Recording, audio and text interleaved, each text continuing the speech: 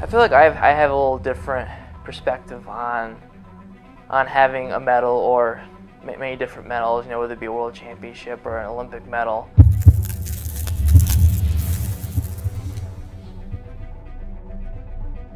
You know, first of all, when you cross the line, you realize that, like, wow, like, Olympic Olympic medalist. All the usual, I feel like, thoughts that everybody has, like, wow, like, I did it, I won, like, I'm Olympic medalist. You get up on the podium, and you know they're, you know, you you know, you're looking at the tray with all the medals on them, anticipation, and you're just so excited, and you know they put it on your neck. You know, everybody's congratulating you. Everybody is is saying good job, good, you know, well done.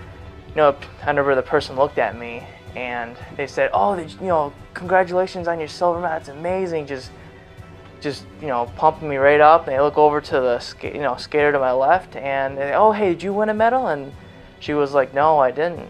And they're like oh. And they just kind of moved on. And you know first it kind of hit me weird. I was like huh okay. Like that was weird whatever it's just one person. But then it happened like two more times after that to the point where the skater that didn't win a medal was completely distraught. Kind of decided to perform a little experiment. You know I took my medal off, put it in my pocket, and I decided, okay, I'm going to tell people I didn't win a medal and see what they do. And sure enough, whenever I said, oh, I didn't win a medal, they just kind of brushed me off and kept going.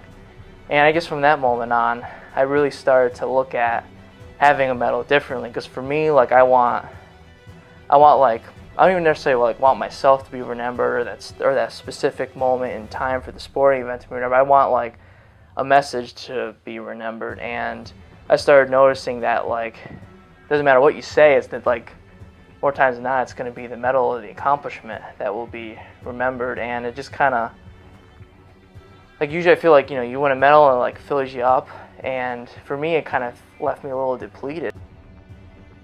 I like using skating to try and drive my determination, motivation, uh, my spiritual life, and through pushing my body to limit every day and and just trying to pull the best out of myself. That's how I ended up coming closer and closer to God and began to uh, become interested. I, actually, I remember it was it was uh, one East. It was like a time before Easter. They're looking for people to help out with the Sunday school program, and I don't know why. I just thought, hey, that's something I want to try and do. You know, I want to try and try and help kids.